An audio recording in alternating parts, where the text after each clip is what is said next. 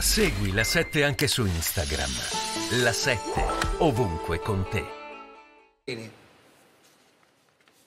Ma guarda, io non ho, ho nessuna intenzione di difendere Orban, a parte che il fatto che, ecco, che sia stato votato non è un elemento secondario.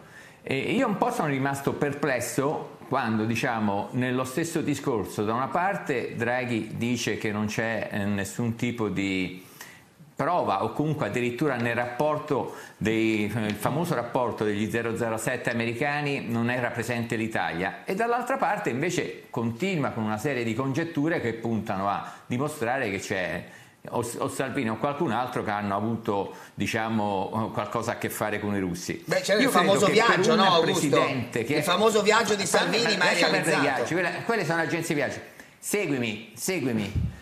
E non è che il, io parto da un presupposto, l'ho detto il primo giorno, se ci sono i nomi vengano, bisogna tirarli fuori per un motivo molto semplice, perché noi, se noi diciamo una cosa di questo tipo eh, diamo, eh, sono delle accuse gravi, eh, stiamo addirittura in guerra con, di fatto con i russi, quindi è una sorta di alto tradimento. Ma se quei nomi, nomi non ci sono, se addirittura in quel rapporto non, non, non è neanche citata l'Italia, a quanto dice Draghi, continuare a parlarne a cinque giorni dal voto è un modo, è un'ingerenza, è un modo per intervenire, per strumentalizzare, per speculare. E mi meraviglia sia il ministro degli esteri Di Maio sia lui, perché se questo è vero, altrimenti, e se loro sanno qualcosa, dovrebbero dirlo. Perché se non lo dicono, esse assumono Però una Minzolini, scusa, poi sentiamo Ma Gomez. Se non è così, Guarda, scusa, seguimi. Poi così. sentiamo Scusami. Gomez. Draghi Ultima- ha fatto un riferimento, cosa, scusa, dirti, mio gusto, molto preciso.